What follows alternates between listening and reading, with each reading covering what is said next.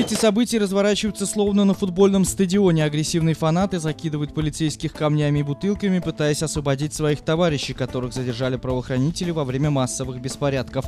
На самом деле это хорошо смоделированная ситуация. Все происходит на полигоне в Мулино. Полицейские отрабатывают навыки, а журналисты учатся, как безопасно делать репортаж во время таких вот кризисных ситуаций. Преследуем в первую очередь две задачи. Первая это наша повседневная деятельность, боевое слаживание сотрудников Центра специального назначения при решении э, подобного рода задач. И второе, это в рамках проведения семинара совещания с сотрудниками э, средств массовой информации, значит, рассказываем и показываем им, где им можно находиться при возникновении чрезвычайных ситуаций, чтобы с одной стороны быть в безопасности, а с другой стороны, чтобы э, максимально объективно освещать а, те события, которые могут происходить в реальной жизни. Публика себя ведет очень неадекватно, и журналистам в данном случае очень четко надо знать, э, как отделить работу э, правоохранительных органов от э, вот этой толпы, которая, как говорится, заводит и весь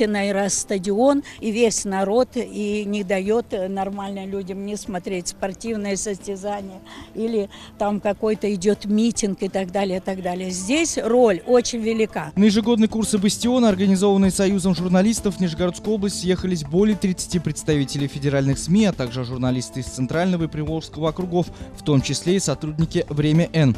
Пресечение массовых беспорядков по-настоящему ювелирной работы для силовиков. Тут задействовано сразу несколько групп, действия которых должны быть слажены и точны. После непродолжительной активности фанатов полицейские применяют, можно сказать, тяжелую артиллерию, разгоняют толпу при помощи водомета, а затем начинают, что называется, выцеплять агрессоров по одному человеку и доставлять сначала в автобус, а затем в полицейский участок. Не редкость, когда в числе задержанных оказываются и журналисты. Надо э, представиться, что вы являетесь корреспондентом и спокойно проследовать сотрудником полиции. Его задача вывести вас из эпицентра толпы, и потом вы перейдете на другую точку места э, съемки и будете продолжать свой, свой репортаж.